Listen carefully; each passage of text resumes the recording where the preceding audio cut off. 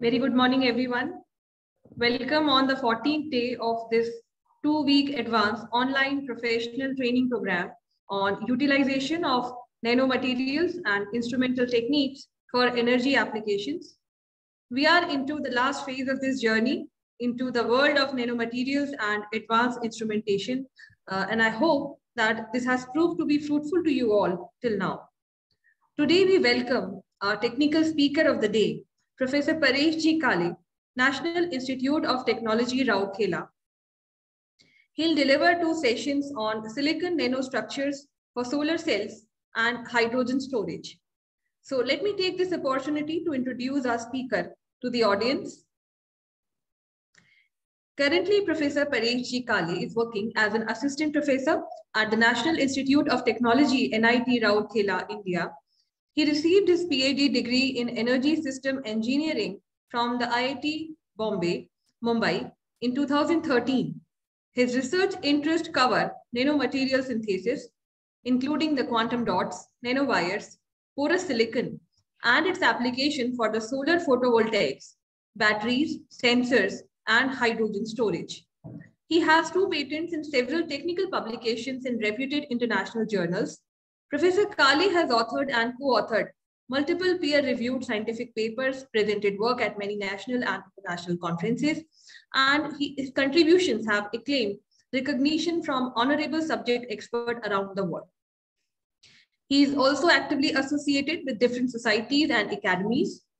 His uh, academic career is decorated with several reputed awards and fundings. He has undertaken and completed several government-sponsored pro projects, and he's an active reviewer of reputed international journals like uh, Renewable Energy, Journal of Cleaner Production, Solar Energy Materials and Solar Cells, Analytica, Renewable Energy, Nano Micro Small, and so many others. Sir, on the behalf of Gyan Vihar University, I welcome you. And now I hand over this session to you for your technical session. Yeah, thank you, Professor Srivastava. And uh, thank you, Professor Jain, uh, for first of all inviting me to deliver this lecture. So I'm very much overwhelmed for that. And also thank you for the introduction. Uh, so I hope I'm uh, absolutely audible and uh, let me share the screen uh, with you for my presentation. Yes, sir, you are audible, sir. Yeah, so is the shared screen visible? Yes, sir, it is visible now. Yeah, thank you very much. Uh, so, so uh, myself, Professor uh, Paresh, and uh, uh, currently I'm working uh, at NIT Rourkela, as I've said, but also I am associated with one of the national mission run by IIT Bombay, DST IIT Bombay Energy Storage Platform on Hydrogen. So whatever work I'm going to present today will be Uh, somewhat related to that as well. Of course, you must have heard uh, Professor Pratibha Sharma, who is the PI for this particular uh, national mission project. So today what I'm going to show, uh, rather talk is uh, silicon nanostructures for the solar cells in the first half. And in the second half afternoon session, I'll be talking about the hydrogen storage applications for, for the same silicon nanostructures. Of course, um, as far as, as at NIT Rourkela is concerned, uh, currently, we are majorly into the material synthesis and uh, what we are expecting in next two to three years, we will be starting actually the applications. Uh, what I mean is uh, making certain devices and also uh, to use these materials for storage like hydrogen and the battery anodes. So today what I'm going to present is something like this. So I will start about introducing silicon of course, as this is a workshop and not just a lecture. So what I have done is a mixture of uh, everything, what, what we research, uh, what we have published so far, uh, what others have published, what are the possibilities in this particular area. And of course, just a pinch of salt of a uh, little bit, a little bit of theory. Uh, so I, of course, I have been given two hours, so I don't know how much uh, these uh, 60, 70 slides are going to stretch uh, stretch about. Uh, but let us, I'll, I'll try to wind up in somewhat about two hours. So then the, coming to the major point, why we require several silicon nanostructures. I'll be talking about four nanostructures, and then I will elaborate its use Uh, uh, after after the synthesis, I'll elaborate its use in uh, the first one is the solar photovoltaics, and then in majorly the hydrogen storage. So to start with, I'll, I'll, I'll go through these initial slides very quickly, very introductory slides. So why silicon? We, we all know silicon is one of the abundant materials which is having a diamond cubic uh, crystal structures. Lattice constant is uh, 5.343 angstroms and it has got a, a, unit cell containing 8 and the valency of about 4. Uh, so this is the crystal structure but most importantly as far as application is concerned it is popular due to its availability. It is one of the already uh, established material in the electronics industry uh, so because it is uh, abundantly available it is uh, what we call, just give me a second. Yeah. Uh, so it is established uh, material for uh, the microelectronics industries. It is non-hazardous. It doesn't have any detrimental effect. And then uh, whatever the progress is made, it is compatible with the microtechnology. And we have generated knowledge over the decades. However, whenever I'm talking about the new uh, applications, there are certain problems associated with silicon. And in fact, that was the reason why people moved away from silicon when they talked about uh, the uh, newer applications in last decade or two. So first one is the cost of the material. So the here normally the substrate which we require in solar PV, let us say first generation solar PV is very thicker. Thus, the electricity cost, the per unit cost also increases. Second thing is silicon in bulk, it has got a fixed band gap of 1.1 electron volt. And our uh, uh solar spectrum is uh, quite wide for from uh, let us say visible is from 400 to uh, 700 or so. So it, it, it, with this fixed band gap it cannot capture the whole solar spectrum. And of course then we are losing many photons. And as far as solar pv is concerned we are losing the that is not losing the efficiency but in fact it is the underutilization of the resources uh, when we come for hydrogen storage, as far as bulk silicon is concerned, uh, it, it doesn't have a large uh, surface area, very small surface area. And of course, we know that for hydrogen storage, we require uh, a good reactive surface which can hold the hydrogen. Thus, the area should be higher. And for that, we require surface modifications, uh, surface area increasing as well as making the surface area suitable to accept more uh, hydrogen. So uh, the morphology, what we have to uh, check uh, there uh, now, as far as battery applications is concerned, low surface area is one problem. Second problem is the volume expansion with the other materials. So, for example, if you take uh, uh the lithium, so there is a uh, there, there is a volume expansion happening there, and it cannot accommodate it. But whereas when we come to silicon, it has got larger uh, what you say uh, volumetric density, and it can also uh, expand. So it can sustain the stresses happening during the charging and discharging. And apart from that, there is one small proper problem is the low electrical conductivity for silicon. So normally that is adjusted by the doping, but uh, then again that doping has to be optimized. If it is low, the conductivity is low. If it is too high, then uh, the recombination will be very higher. So, so there is no uh, much of the, what you say, flexibility we have got over there. So uh, when we talk about now uh, increasing the utility of silicon, one way remains is to go towards the nanotechnology to decrease the size of uh, the silicon itself.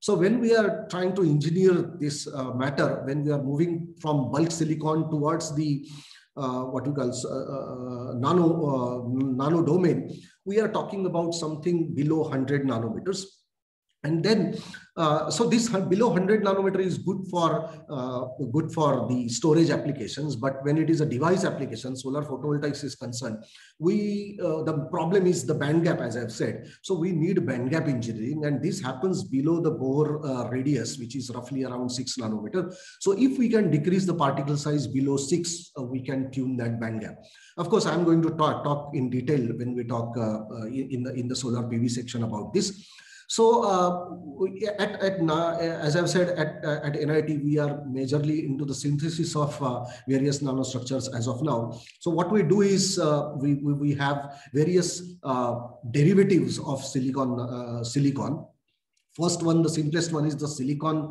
porous silicon used for layer transfer process, anti-reflection coating, of course, hydrogen sensors and gas sensors, as well as biosensor, although that is not our topic today. Uh, second thing is the silicon uh, quantum dots. That is the part of one way uh, to achieve uh, the higher efficiency at lower cost under the third generation photovoltaics, and of course, hydrogen storage. Then porous silicon nanowires these are also used for uh, the third generation photovoltaics uh, in, in, in various forms, including the anti-reflection coating in battery and hydrogen storage. That is the uh, application for everything. Then we have got a restructured porous silicon so here, whatever porosilicon we have obtained, we are going to uh, we are going to change its morphology using sintering, and this is very much useful for layer transfer process, which is again a part of uh, first generation uh, photovoltaics only. And then uh, these layers, as these are freestanding, and of course uh, a lot of modification can be done on that. Uh, so choosing a particular modification, we can use it for these sensors application. So uh, now initially I'll talk about the synthesis of uh, these four structures. To start with uh, the porosilicon, the easiest one. So simply we take a silicon substrate and we uh, we, we uh, use anodization current under uh, electrolytes present under the presence of electrolyte, and then what we get get is the thin film structure so here you can see all these uh, small pores are generated. Of course, they are not homogeneous. Again, uh, so many conditions are there uh, on which uh, this depends. Uh, of course, uh, anodization is, is one of the major application, one of the major way to produce porosilicon. However, there are so many approaches which can be divided into top-down or bottom-up approaches. Uh, so uh, here uh, the as as anodization this technique is used, the continuous production is possible. It means uh, first I will make a layer porous. I can lift it off. I can make it freestanding. And then whatever the substrate remains, I can reuse it. So the next uh, uh, layer, next to next layer, and I can continuously use the same substrate. So reuse is very much easy. Now, as far as this anodization process is concerned, uh, as I've said, it is in electrolyte. Uh, electrolyte is HF plus acetic acid or HF plus uh, ethanol. Uh, depending upon suitability and availabilities. Uh, so this SI reacts with the HF. So HF is basically the etchant here, and it takes away uh, uh, takes away the silicon and releases hydrogen simultaneously. And when it takes away silicon, that this that is where you see uh, the pores. And this the bottom picture that is the cross section image of the porosilicon, where you can see the tree-like structure is formed. But of course, this is one kind of pore structure we have, and this you can see how much much control we can achieve. So uh, the reactions, uh, the porous silicon formation stops immediately when we stop the reaction. And that's why you see silicon over here. So you can see how much uh, change we are making and we can uh, we, we can control these uh, uh, parameters as, as we want. So this is what exactly happens inside a porous silicon, generate, porous silicon generator setup. Uh, for this uh, process anodization, we require a constant current uh, DC power supply, uh, and that would be fed through uh, the uh, fed to the fed to the set, setup. and we can use two inch, four inch substrates depending upon again how we manufacture our setup. So as I've said, there are few properties we should look for, output properties of porosilicon. One is the thickness, that is a time control parameter. Uh, so anodization time, if we increase, thickness increases. Porosity is the current control parameter, how much current density we choose. And then we have got porous pore size distribution, which is a complex parameter depending upon so many things. And then film liftoff is possible. So either we can keep it undetached or we can lift it off again depending upon our, our, application whether we want the silicon substrate to remain there with uh, uh porosilicon or not. So if we try to find out the various parameters affecting these three output parameter uh, the things are like current density anodization time hf concentration and uh, the wafer uh, of course doping the resistivity the type of doping everything uh, everything affects over here affects to the porosity each rate and the thickness so point is, uh, depending upon what application you are seeking, you have to optimize this. So for example, porosity, you can vary from 10% to about 80, 85%, up to 90% even. So of course, 90% means very brittle film and whereas 10% it means very low porosity. So uh, uh, suppose uh, you want about 30% uh, film for uh, say uh, for a low porosity application then you have to adjust the parameter the thickness again you have to adjust the adjust the time uh, so whether it is a 2 micrometer film or 20 or 50 micrometer film. Uh, again, now as far as film lithography is concerned, uh, the problem is uh, uh, if, if you continue this process just for one film, uh, for a prolonged time, uh, the one-step separation occurs, and then there is a upper limit for how much thickness uh, you can achieve. But it is, of course, uh, far higher as compared to whatever application we are thinking and corresponding thickness. Now, as far as quantum dots is concerned, that is a very uh, peculiar concept of band gap engineering.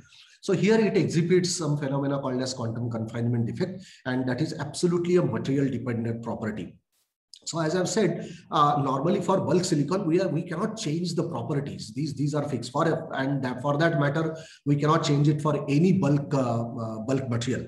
But then interestingly, these semiconductor materials, whenever we uh, decrease the size uh, uh, small enough than the Bohr's radius, it changes its it changes its properties. And this phenomena results from the electron and holes uh, be, being squeezed into a small di uh, small uh, dimensions and that is uh, equivalent or lower than the exciton Bohr radius. So in the diagram you can see that uh, whenever the particle size that is the horizontal uh, axis what we have. So suppose we we decrease this Uh, uh, particle size, the band gap. So uh, earlier it was this silicon that was 1.1. Now you have got a uh, got an increased band gap of up to two electron two electron volt two electron volt or so. Now that all depends on what is the uh, size that that that you are doing. So uh, to realize or to use these uh, quantum dots, uh, normally it is uh, embedded into some other insulating material. So you can see that this uh, band gap this is the largest band gap, large band gap we have. So that will be coming from some uh, insulating material. Uh, the famous one is uh, silicon dioxide or uh, Si3N4 or even silicon carbide. Again, depending upon, uh, you know, what is the effective band gap you require. So this quantum dot synthesis, again, you can use top-down or bottom-up approaches. the famous approaches are the top-down approaches where sorry, bottom-up approaches where you are using uh, various chemical vapor depositions or sputtering or ion implantation. Mechanical milling is a uh, top-down approach. So he, this now once you can tune the band gap, you can use it for the multi-junction solar cell, which we'll talk later.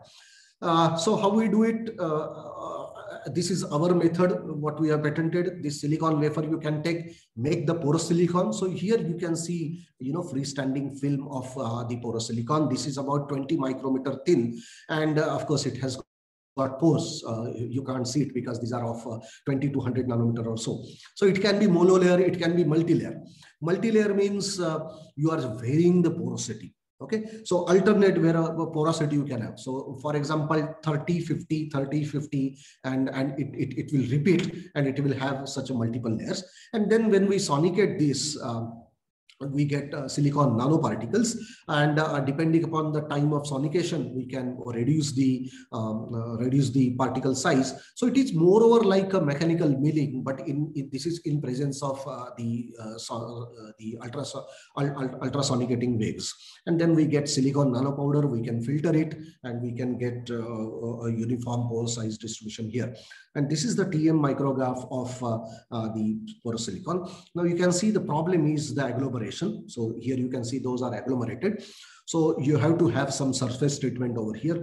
Second, pro second point is uh, this uh, porous silicon, of course, there are so many theories about this. Porous silicon in itself also exhibits some quantum confinement, but unfortunately, as uh, these these uh, particles are not say, uh, separate or discrete, uh, the using it in in the uh, in the photovoltaics would be a bit difficult. So that's why we have to separate them. So basically, ultrasonication is breaking these particles, and as they have quantum dots embedded into it, the smaller particles effect, the effect of this quantum dot gets enhanced, enhanced.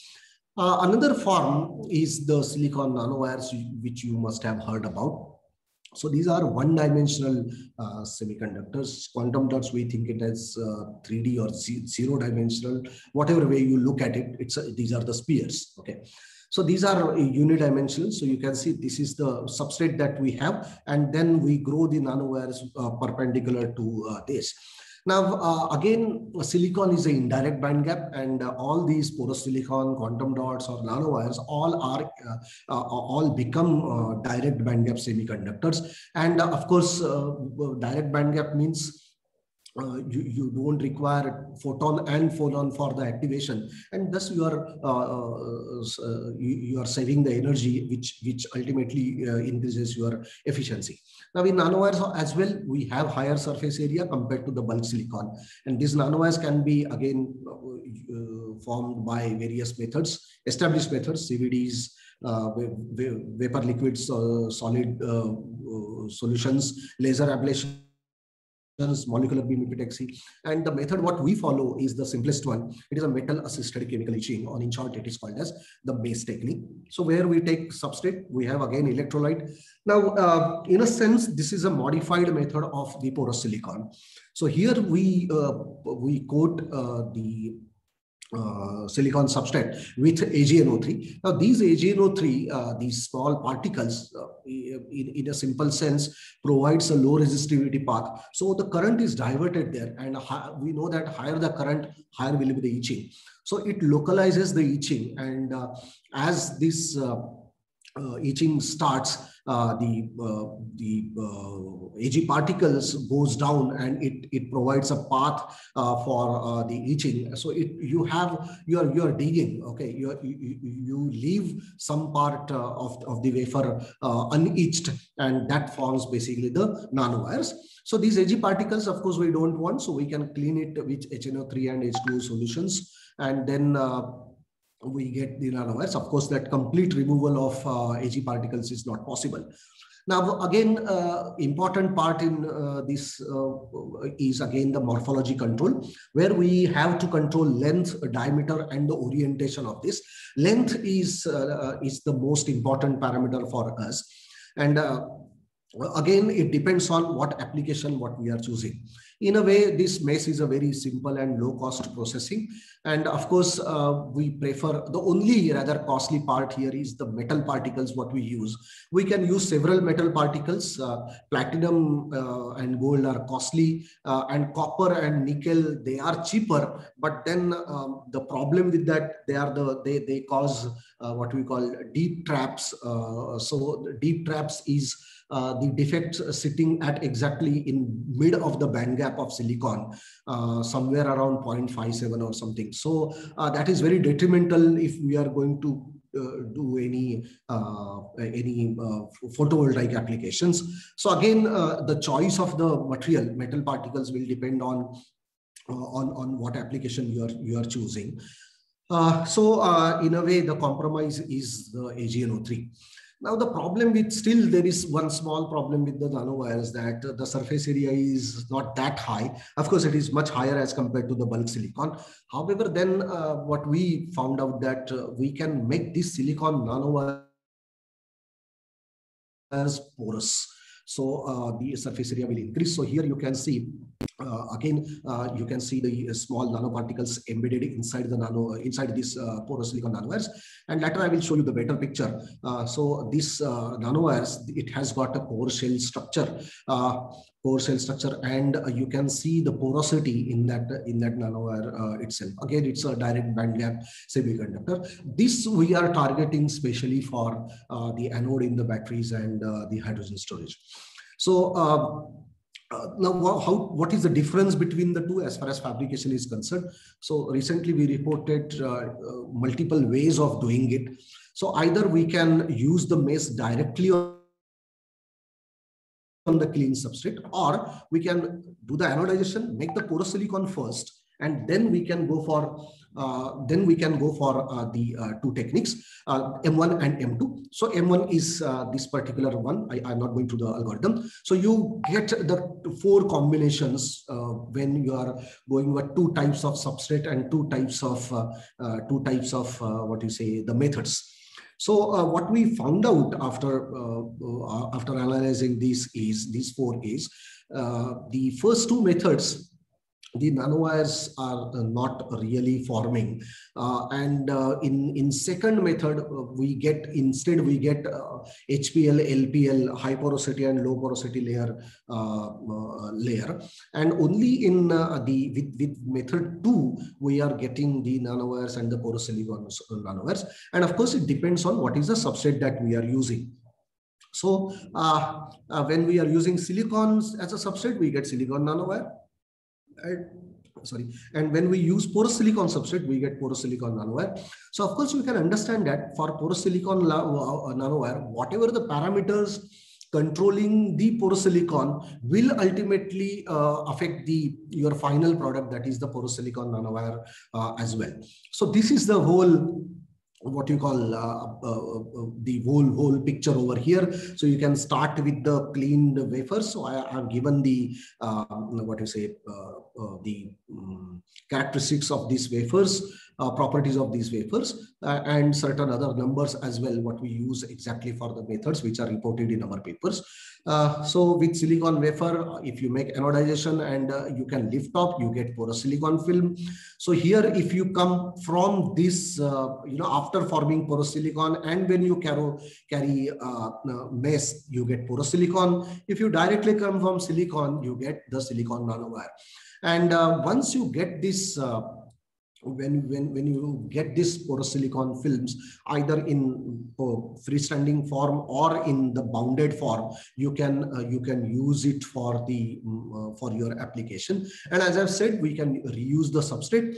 So uh, when we remove this uh, uh, film we we have this substrate and that again we clean the substrate we remove the whatever the you know small these these parts chunks of the porosilicon whatever uh, are remaining we remove it and the same uh, what you say same uh, substrate can be used. You can see some patches over here, right? Green and of course, if it is visible on your screen, green, uh, reddish, brownish or something, it is because the surface is now uh, not even because the single solid, uh, single solid wafer. So you can check here. These are the boundary. At boundary, it is absolutely shiny surface, but inside where we have formed porosilicon, uh, it is it is not that so shiny. It is because the surface, uh, the, uh, now your surface roughness has changed and does the does the does the reflection but uh, we have found out that uh, the surface roughness is not that much and uh, if we keep on removing such a films continuously uh, we still get uniform roughness about six nanometers or so. Of course it is not as good as the solids uh, single solid solid polished one. Now as far as uh, some hydrogen applications is concerned these are the six uh, different samples what we have correct uh, what we have created. Even we have changed the resistivity we have changed the methods. And of course, uh, the method for formation of porous silicon is already optimized and the numbers I have given to you here. So the point is there are various fabrication, fabrication parameters to you know play with and it all comes down to how you're tuning your parameters, how you're optimizing uh, these parameters. So these are the ACM micrographs of uh, the three porosilicon nanowires and then the porosilicon nanowires. So, uh, so as I have already uh, explained the various things, uh, so ultimately what matters is uh, the porosity in and surface area in case of porous silicon nanowire. Uh, so that can be also extended if you extend the length. And in normal silicon nanowire, when you're using it for, let us say, solar applications, normally we will see that the length uh, plays uh, important role. Longer length would be better, whereas diameter should be should be small. Okay, so uh, thickness and other uh, parameters, porosity, surface area should uh, uh should be controlled. And normally, uh, the major contributing parameter here is the anodization time and the anodization current density. Now we did some FEM analysis for all the four combinations and uh, in, in first we got some nanowires but of the small lengths uh, uh, with, with M1 and with M, uh, this M1 and porous silicon we got two alternate layer, low porous silicon layer and high porous silicon layer. Uh, so this is the schematic which I, I can show it to you. And of course, what happens is if we prolong uh, this particular, uh, you know, in, in uh, for this method, if we prolong the anodization time, the high porosity layer, because now the surface area is too high, it, it, it, dissolves into the electrolyte because the etching rate increases so, so fast because of the area, we lose, rather, we lose we lose the uh, porosilicon, uh, whatever we have formed. So ultimately, we found out that the substrate either silicon or porosilicon plus method 2 is the best method for us for any application and also uh, these uh, uh, these formations especially when we are using MACE this is also what you say sensitive to the temperature uh, so we have optimized that about 45 degrees Celsius is the temperature uh, usable for getting the uh, getting the good lens. Uh, so here I'm, I'm listing that. Uh, so you can see as we increase the temperature, the average length of the average length of the silicon nanowire goes on decreasing. So if we have to keep uh, the uh, nanowires at longer length, we have to have about 45 degrees Celsius or so, where we can control the temperature easily. Now, this, these are the TEM uh, micrographs of uh, the nanocrystals. So you can see here the porous silicon uh, nanowire, and then it has got small quantum dots and whatever the dark patches you see, these black uh, patches, whenever we are expanding, we get uh, the quantum dots. So the length of uh, here, in this case, it is about 3.44 micrometers. And the another uh, what what you say uh, uh, another peculiarity of this uh, uh, porosilicon nanowire is that it, it, it is a core shell structure. And uh, it means inside wherever it is dominated by the silicon quantum dots that is more of a crystalline somewhere around 70 to 80 percent crystallinity whereas the outside part the shell is is amorphous in nature. And that is because this is the area which is exposed to the etching so etching, as I've shown in porosilicon, it is only the vertical etching, perpendicular to the substrate. But in case of porosilicon, we get both types of etching, perpendicular as well as the parallel etching. So the diameter what we got is somewhere around 120 nanometer or so. Um, so of course, uh, right now we have optimized length only, but soon we will be optimizing the optimizing the uh, diameter uh, as well. Apart from that, you can also see that there is a lot of AG that is from AgNO3 is also remnant. we have published recently a paper in Nature to remove this AG by sintering, but that's a very different topic as of now. Uh, so what we found out that this AG is not only problematic uh, in a device, but it is also problematic that it, it etches on the sidewall as well. Of course, it is good for porous silicon, but not for the nanowires. So uh, the uh, uh various, uh, uh, what you say, properties are revealed here, including the crystallinity, including the remnants from the from the EDS patterns, and then the size of the quantum dots.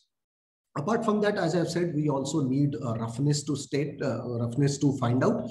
Uh, uh, there are two types of uh, scanning probe microscopy. One is tunneling microscopy, which is normally used for the um, manipulation of the material.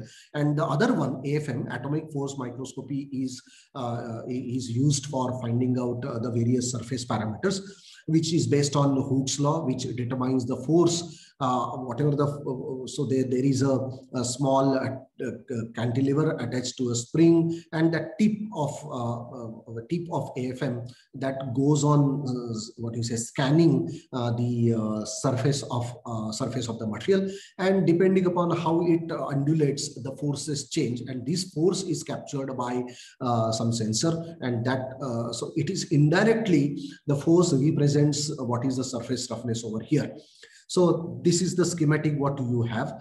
Uh, and of course, there are various types, uh, uh, contact mode, non-contact mode. Uh, but in general, what we have is this important parts. There is a detector, there is a feedback loop for uh, scanning the motion, and then the cantilever deflections that is actually going to map the surface uh, topography. So from this AFM, we are going to get so many parameters which tells about not only the surface roughness, but what is the nature of this surface.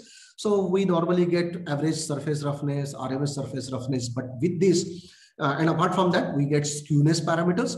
So this is the symmetry of variation. Now this symmetry is important for uh, silicon nanowires. So suppose uh, silicon nanowire is exactly perpendicular, then your skewness will be zero. If it is towards left, it will be negative. It, if it is towards right, it will be positive or vice versa. So it is going to uh, check that symmetry. The kurtosis factor, that is going to measure the distribution of the spikes above and below the mean line. So you can find out what is the average length of uh, uh, these bumpy structures over here. Uh, so this will tell us the type of the structure what we have. So if that index is greater than three, for example, it is a spiky structure. Uh, you will have very elongated structure. When it is less than three, uh, there are kind of hills of bumpy uh, structure. And then for three, it is a very random surface, means mixture of both spiky as well as bumpy. Then we can also uh, do certain analysis from RQ by IA, which gives us the asperated distribution. Normally, it should be between 1.25 to 1.31. So uh, these are some of the pictures for the different six samples uh, I have I have, uh, I have shown or I have discussed uh, earlier, and you can see here that uh, whenever uh, whenever there is a etching, so S1 and S4 these are the porous silicon sample. Then we have got silicon nanowire, and last one is the porous silicon nanowire samples. So uh, from the RQ by RA, moreover, it is, as I've said, it is around 1.25. But whereas RKU, uh, that is the kurtosis, that changes. And that is what tells us uh, about, the, uh, about, about the structures over here. And what we found out that the surface roughness, of course, as expected, is much higher in porous silicon nanowire as compared to silicon nanowire compared to the porous silicon. Now the last, uh, uh, what you say, uh, restructured porous silicon, the fourth, uh, what you say, derived material. Here, restructure means porosilicon film obtained undergoes sintering. And this sintering is uh, to, uh, what you say, uh, to treat the material somewhere in between 800 to 1200 degrees Celsius, then only the effect is seen. And in schematic, you can see that uh, the, there are small pores, let us say diameters of D1 and D2. D1 are small pores, let us say, and D2 are larger pores or, or something like that then what happens is depending upon your pore size, the uh, two pore either uh, merges to become a large pore or uh, the two pore vanishes to become a smooth surface during the sintering. And then after sintering uh, the small uh, small pores are gone whereas you get only the larger uh, pores d3 let us say which are larger than uh, let us say D, d1 and d2 so you can see here here the porous uh, this pore formation is just started okay and then you can see very small pores are there so so many small pores of various sizes are there but ultimately when you when you uh, when you uh, uh, it, you you get the largest pore is somewhere around two micrometer, and you can see the rest of the surface is absolutely smooth. There is no uh, no uh, what you say uh, pores remaining there. Now this again depends on so many parameters. It, it, it is the starting structure what you have. I mean, what is the morphology of the porous silicon?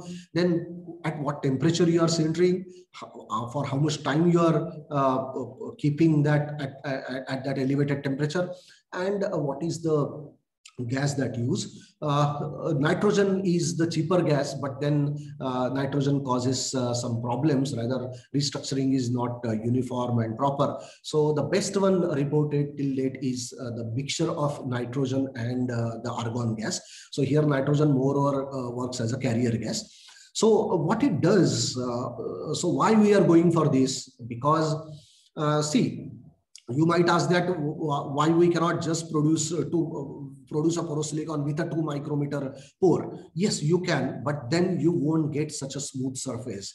So uh, that is going to create the problems for the optical properties uh, the surface recombinations and everything. So uh, this is going to improve the optical properties and the conductivity, whereas uh, it, it is going to passivate the surface. It is going to reduce the various defects present on the surface and inside the material uh, material as well. Okay.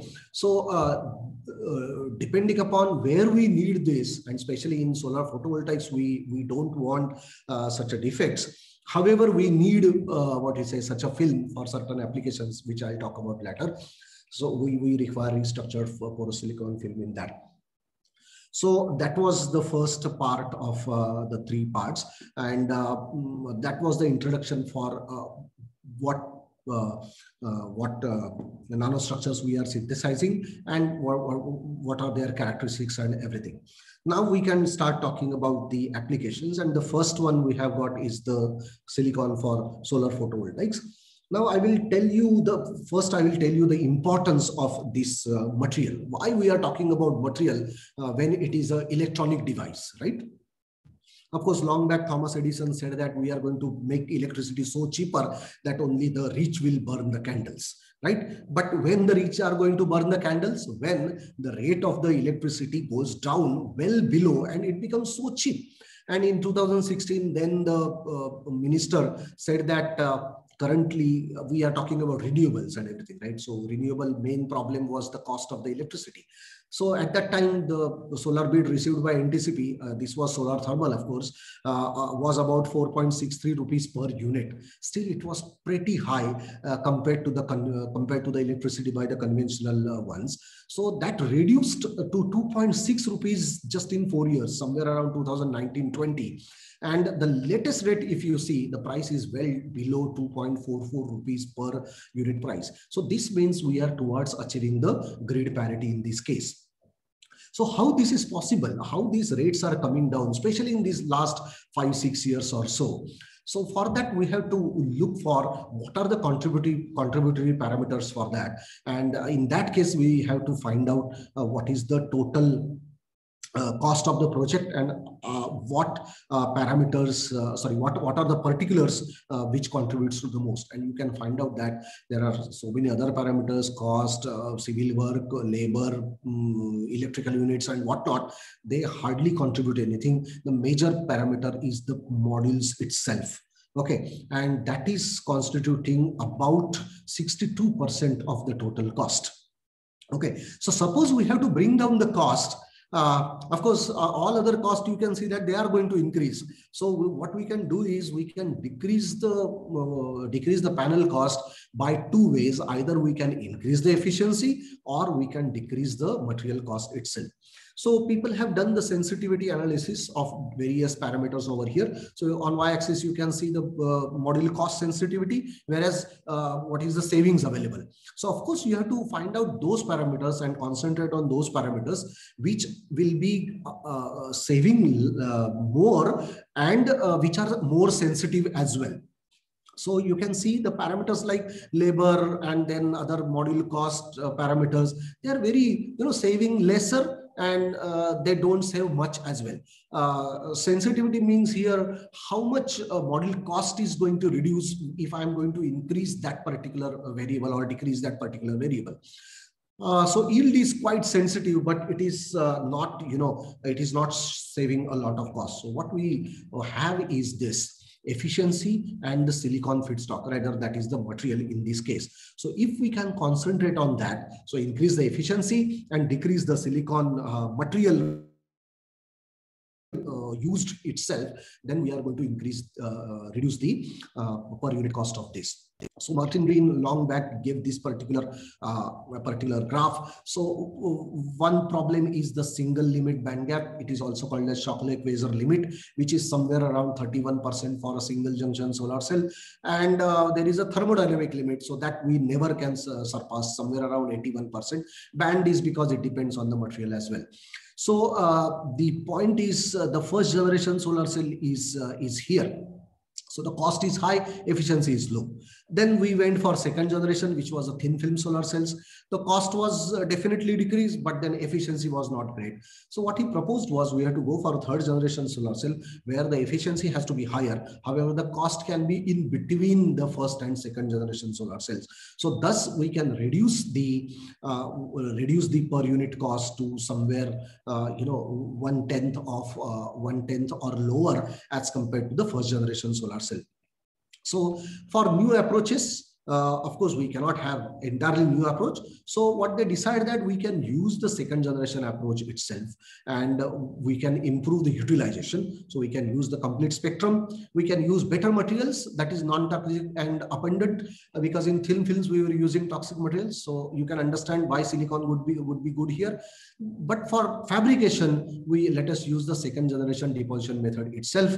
Uh, so we have to have high quality material with very low defects so that recombination will be lower and the efficiency would be higher. And then most importantly, it should be compatible with the large scale because we know that as we uh, increase the size of the panel, the cost is also going to go down. That is one of the factor. For example, let me tell you, uh, uh, some five ten years back, normal available panel was 40 to 100 watt. Nowadays, you will find out about 420 to 600 watt single panel is very common, and those are the cheapest one. So that's why uh, you uh, panel cost is not uh, the not the absolute cost mentioned. However, it is mentioned as a per watt cost.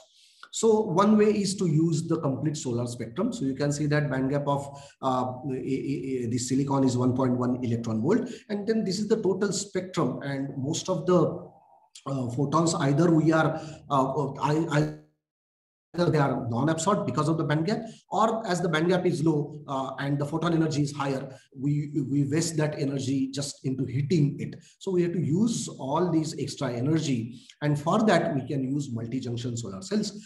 Uh, so we can go on increasing the junctions, the efficiency is going to increase. Further, we can concentrate the light so that you don't require large surface area, large uh, solar cell area. You can confine it to very small area. And again, you can save the material. Uh, uh, uh so that, that is how the cost will be saved. But there is a limit for how much concentration we can do and how much what you call uh, how much uh, how many junctions we can form more the junctions, the cost will increase and relatively the efficiency will not increase. If you concentrate too much, the temperature will be high and then you require uh, the, the losses because of the increased temperature will be higher and that's why you require additional cooling for that. Okay, so again, uh, in, in whole solar PV, there is a optimization. So as far as silicon is concerned, one of, of course, there are so many ways of uh, uh having this third uh, so many ways and approaches for making a third generation solar cell. Uh, one of them is a band gap engineering and then the advantage is, that silicon can be used, of course, for all the advantages I have already talked about. So uh, as I've said, the band gap here, when we go below uh, about seven, six nanometers, band gap is inversely proportional to the uh, particle size. And this is what people have reported over the past. So you can see that, uh, so this nitride and oxide, these are the uh, what you say, encapsulant over here, Si3N4 or SiO2. So depending upon that, you uh, achieve the uh, achieve the band gap. So in oxide, suppose your pore diameter is let us say about one, so your uh, band gap is roughly around two electron, sorry, two electron volts. So you can tune it right from somewhere around 1.1 to uh, uh, about 2 electron volts. So with the same silicon or we call it as all silicon solar cell, uh, you can make a cell with a different band gap. So uh, cell with multiple junctions, let us say three or so, and you can tune that uh, uh, band gap you can uh, then optimize what band gap you need require for uh, uh, to to optimize this solar spectrum and you can achieve the maximum efficiency already i have talked about the quantum dots right so this is the one which uh, I formed during my PhD. Uh, so there is a quantum dot layer and then there are top layer of uh, the silicon. So PN junction is formed and in I layer we have put the quantum dots. And uh, the effect I can show you simply is here. Of course, as your band gap changes, the absorption changes, right? So this is for silicon. And as we, uh, you know, decrease the what you call the particle size, you can see that uh, the uh, as, as the band gap is increasing, it is now being the bluish photons, which are roughly around 400 uh, nanometer or so. And, and uh, so what you can do is you can make one solar cell of this particle size, one here somewhere, okay, and the third one here. So one, then two, and then uh, the third one and you, collectively the efficiency would be more, more now because you are using more uh, more, uh, part of the spectrum. Of course then there are silicon nanowire based solar cells. Uh, this we have started recently. Uh, yet we have to fabricate a cell. Uh, but just to give the introduction these are the two types of normally solar cells preferred. One is the radial junction and one is the one is the axial junction uh, the, and then you can try various things. You can use organic inorganic materials. You can use the homojunction or heterojunction means the same or different material. You can use uh, dye sensitized material here for coating so that your uh, the flexibility remains and uh, the process is cheaper in this case. Uh, of course efficiency would be a bit uh, smaller. And then you can use the hybrid ones as well. So people are people are going after various approaches so in short, this is what happens. So again, the principle of operation is very same. You uh, go for uh, the electron hole pair generations, uh, which happens at the surface of the uh, nanowire. And that's why your surface properties and uh, the length or and diameter uh, is now vital. You can understand over here. And as far as radial is concerned, the uh, the uh, the this is this is the this is the radial so sun sun rays will be perpendicular to it and uh, the junction will be uh, produced somewhere over here okay? And uh, when it is axial your junction is produced in between the nanowires. Uh, so uh, on one nanowire you, are, you have to grow other or you have to change the doping over here so that uh, you you make this what you say axial junction. So these are the two types. As far as the parameters are concerned and output is concerned it's very very complex so when we were studying this, uh, we found out that the length is a parameter which affects largely every parameter. Why? Uh, that is a, a, very complex question to answer. But what we found out that uh, the length has to be the, uh, is to be longer uh, for the uh, axial junction, but it has to be shorter for radial junction. Rather here, the diameter is important. We should have a smaller diameter as much as possible. So right now we were controlling uh, uh, controlling length, but slowly we will uh, start also controlling the diameter, and then we will start form, forming the devices. And what is reported is the radial structures are much better. They, uh, they give uh, better efficiencies. It is because uh, you can see that the distance between the surface and the junction is quite low. So the absorption and then separation is quicker and it is uh, what you say, uh, the lifetime is much better. The carrier collection also happens uh, very efficiently because the junction is very near to the surface.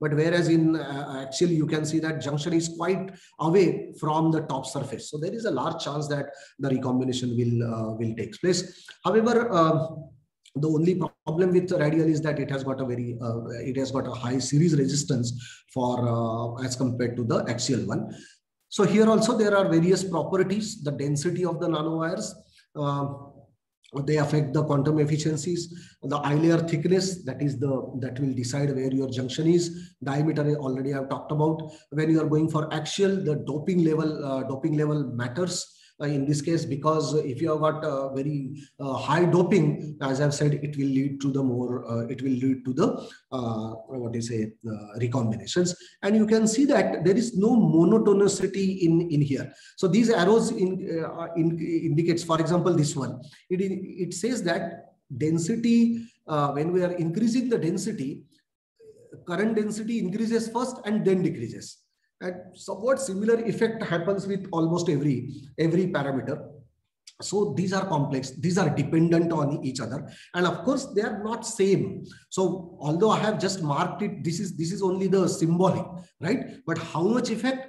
That again is a problem. And also we know that the fabrication condition itself has got so many parameters to vary.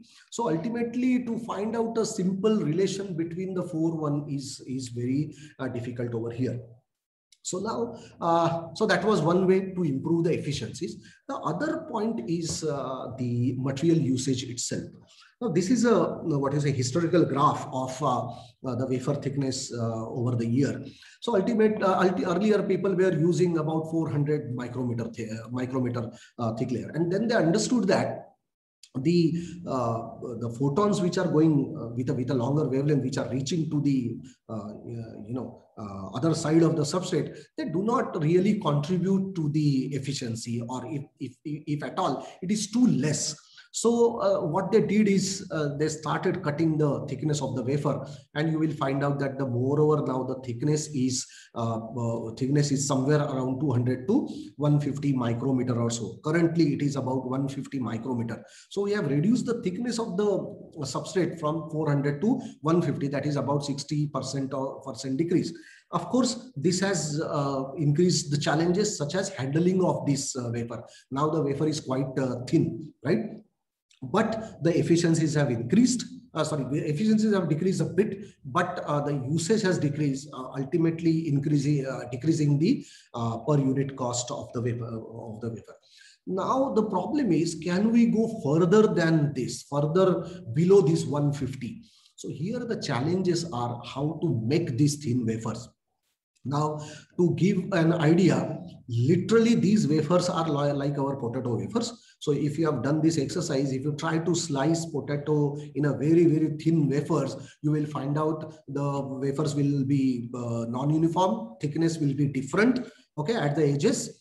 Uh, then they will not be of the full size you will find out sometimes small, sometimes uh, thicker, uh, larger wafer and whatnot. So exactly similar problems comes over here. So how to tackle with that? And for that, uh, some uh, groups are studying the transfer techniques of uh, uh what you say, uh, transfer techniques of uh, either porous silicon or silicon nanowire to a low cost substrate. So we are, so we can save this. So we have also started working on that. So there are two ways what we found out. Suppose we have grown silicon nanowires and let us say the application is solar photovoltaics. What we can do is we can peel off those silicon nanowire by gluing. Okay, so you, as the uh, as the film is uh, the, about uh, 30 to 40 micrometer uh, thick, we can peel it off and we have to preserve the nanowires. Other thing is the electro-assisted. So anodization we can use and uh, we make porous silicon layer beneath the nanowires and uh, when it is quite high porosity layer, we can lift it off that because we already know that from our porosilicon fabrication. So this is what happens. This is the first gluing technique. So first part is already known to you, that is the MACE method. And then we gluing technique, we attach it with some adhesive layer to the low cost substrate. So it can be, let us say plastic, glass. Again, it depends on your solar cell structure. Uh, but these substrates are cheaper as compared to your uh, what you call uh, the silicon right and then we have got electro assisted so we make a porosilicon and we we lift it and we we can put it to some uh, we can adhere it to some other structures uh, and of course, the wafer can be reused. So reusability of the wafer is one parameter. Again, we are not losing that material as well. Okay, so now here you can think that we are going, we, are we are trying the substrate with uh, what you say, thickness of about uh, 30 to 40 micrometers. And suppose we have nanowires on it uh, the nanowires can be somewhere around uh, 3 to 10 micrometers or so. And uh, how much we are transferring? We have defined one uh, percentage trl how much length is transferred from the fabricated? Because we expect that as these are these especially the peeling peeling after the gluing is concerned it is a mechanical lift off Okay, so we, we can lose uh, the nanowire length over here. In electro-assisted also we lose it because of the dissolution of the material into the uh, into the electrolyte. So this is the gluing technique. See, so this, this process is very laboratory. Anyway, we are approaching one hour. Uh, uh, Professor Jain, how much time we I have still left?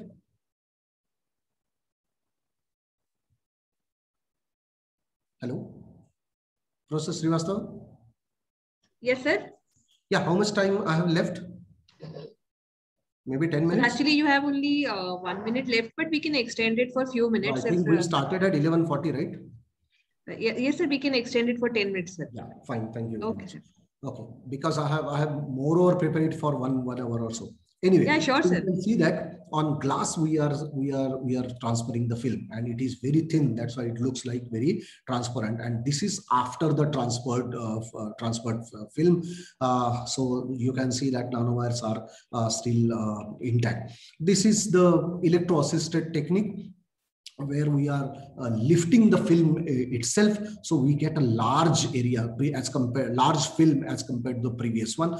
However the problem here is that the nanowire length is quite uh, quite small compared to the previous one.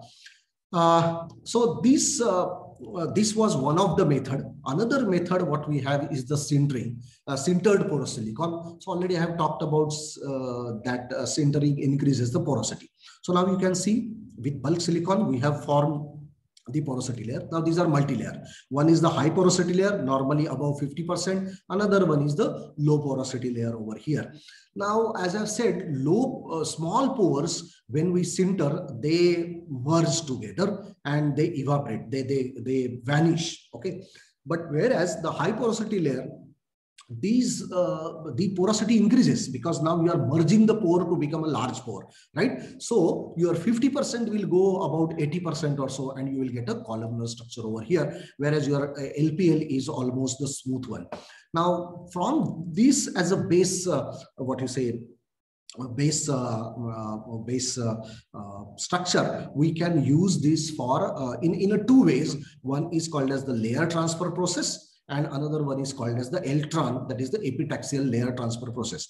Now, it all depends upon when you are going to use your deposition. So in ELTRAN, we deposit the epi, uh, uh, epitaxial layer first. This you can use it with different CVD techniques. And of course, for this, uh, what matters is the quality of your uh, thin film, uh, whatever the, uh, what, what do you say, the uh, this, this, this structure, okay, porous structure, and you grow episilicon layer, then you cut this uh, with the anodization or something. So this much only will be remaining, and that is then you build, uh, then you complete your device. And in the other method, that is layer transfer process, first you transfer that layer to some other substrate, let us say glass substrate, and then you start uh, putting the layers, maybe epitaxial or thin layers, uh, thin films or whatever. So that is the only difference. But to fundamental to that, we need a layer separation in both the methods. So people are, uh, as I've said, many groups are working on that for last few years. And this is a combined uh, uh, graph of that. So here, uh, the challenge is of course physical challenge how we can go uh, thinner. Okay so you can see people are reporting somewhere around 50 to 40 micrometer layer or so. But here what happens the lifetime is the one which is compromised. Uh, for photovoltaic devices we require larger carrier lifetime and uh, that is that to minority carrier lifetime. So we have to increase the lifetime by what you say, maintaining the quality uh, by reducing the defects uh, in, in here. Apart from that, uh, uh, this uh, application is also reported. You, we can use multi-layers, the sintered multi-layers. that these are used as a Gettering layers when when we fabricate the P plus uh, substrate, there is a high doping, and whenever and in, in such a P plus substrate, there is, there are impurities uh, like the metal impurities, uh, copper, uh, then silver, gold, and whatnot, chromium. Now these are here, okay, and this is your device. Of course, you don't want these uh, uh, defects to enter, impurities to enter into your device because that is going to uh, work as a trap. So to make a barrier between them, you can see that uh, alternate HPL LPL layer, that is a multi-layer porous silicon which is sintered, is used as a uh, uh, as, a, as, a, as a barrier uh, for that, and it is called as the internal Gettering uh, Gettering layer. Uh, so this this what you say improves the minority carrier lifetime. Apart from that, we can use such a porosilicon layers for a Bragg reflector. These are for waveguides in antenna and some other optical applications. So these waveguides uh, in, in solar cells also, you can use it for decreasing the reflection on the top. So this acts as a mirror basically, and uh, the mirror properties depends on the refractive index, and refractive index depends on what is the porosity and the thickness uh, of, of, of the layer what, what we have what we have achieved. So this is the graph of uh, reflectivity versus wavelength. So you can tune where exactly uh, you want high reflectivity and low reflectivity. So this acts as a uh, kind of filter uh, filter for us. Okay, so I think, uh, yeah, I'm, I'm well within time. So I have finished with the solar photovoltaics as well. So here we can take a break and uh, we can continue in the next session with uh, the solar silicon for the hydrogen storage. So any quick questions or something, uh, so you can please ask. Thank you, sir. Thank you for such nice informative session. Uh, we have some questions in the chat box, so let us take them one by one. Uh, so our first question is from uh, Ms. Poonam Bhatia, and she's asking, does the cantilever probe of AFM changes the surface morphology of material while moving on the surface? Yes, uh, and that is that is sometimes a problem, especially in case of porous silicon. Um, uh, so of course, see if your material is too sturdy, then it it, it cannot because uh, you, you, know that tip will be very small, somewhere in the nanometers. So uh, rather, it is not expected that uh, you know uh, you do that because the tip will tip will break. Okay, uh, but what happens, especially what we have observed in porous silicon is that as the structure is very brittle, and if there is a, in, in case of the, uh, what I call it as uh, the physical touching mode, uh, in that case, uh, when uh, the tip touches Uh, the porous silicon, uh, it, it, it, it uh, changes the structure. And especially these porosilicon films are attached to the substrate. So in fact, it pushes the films and then the, there is nothing in the scan. Uh, so it is very difficult to get a good AFM picture of uh, porosilicon film attached to the attached to the substrate. Absolutely difficult, or rather not at all possible when it is a freestanding film. So yes, it changes the surface morphology. But when you intend to do that, that is the another technique. Uh, that is what I was talking about, uh, scanning this uh, scanning tunneling microscopy where uh, I think nano indentation and uh, uh other things are there where you can uh, uh, what at, at nanoscales literally at the atom scale you can arrange the atoms and you can achieve the effect you want but we haven't done that. So AFM is only normally used for measuring the uh, surface morphology. And in general, generally speaking, you should avoid uh, what you say in a contact measurement. That's why we have got non-contact measurement nowadays. So where you don't, uh, what you say, you don't uh, let the material interact with the tip and you save the tip because that is costly. Thank you so much, sir. We have another question on AFM. And uh, the question is, uh, what types of material can be studied by AFM and what type cannot be? And uh, what other information can be obtained, like other than the surface yeah, morphology? Uh, yeah, it depends on the type of AFM and all that. Uh, of course, I can't, uh, you know, elaborate this as of now, but uh, uh depending upon what type of mode uh, you are using, whether it is conducting, non-conducting, whether they uh, whether they respond to, whether they induce some forces or not. so all these things depends, you know, depends on that. So you have to choose material accordingly, the availability of the AFM. So better if someone is talk, talk someone is trying to do that, better you talk with your operator and uh, what is a find out whether your material is suitable for that particular AFM technique or not. Thank you so much, sir. Sir, uh, our next question is, for the similar types of application, if we compare the carbon nanodots and silicon nanodots, then uh, which one is better on the basis of their commercial, economical viability and environmental sustainability? Uh, now, uh, one of the professor with I'm working with uh, at, at Kanpur says that whenever you don't have any option, you go for carbon because that is the easiest option. Okay, so of course, carbon has got certain advantages. I haven't worked on carbon, uh, but yes, carbon is uh, another good material to work on because it is uh, cheaper, like we, we can easily get it. Uh, but as far as comparative studies concerned, we haven't done it yet. Okay, uh, but yes, we are thinking of uh, merging silicon and graphene together to take certain advantage over here. but as far as performance is concerned, I'm sorry, I, I, I can't comment on that. And uh, to my knowledge even the applications would be different carbon uh, can be compared for uh, storage uh, but not for other applications like solar photovoltaics. I haven't seen uh, carbon nanowires. It, it can be used for definitely for storage purpose only as far as my knowledge goes. And uh, as far as storage, hydrogen storage is concerned, moreover, the hydrogen uptake is very much similar, very much similar. Okay. Thank you so much, sir. Because both have got, yeah, one more, one point to add, porous yes. silicon and nanowires uh, of course, we are controlling the porosity. In carbon also, we are controlling the porosity. Okay, so these are very parallel materials. Uh, so unless someone gives a breakout, uh, I don't think so. Uh, the real comparison, I mean, real distinction can be made. Yes, sir. Yes, sir. Thank you, sir. Sir, our last question is uh, from the participant. He want to just understand how conversion efficiency of the photovoltaic increases when we are using the uh, silicon nanodots. Yeah, as I've said, there are various parameters.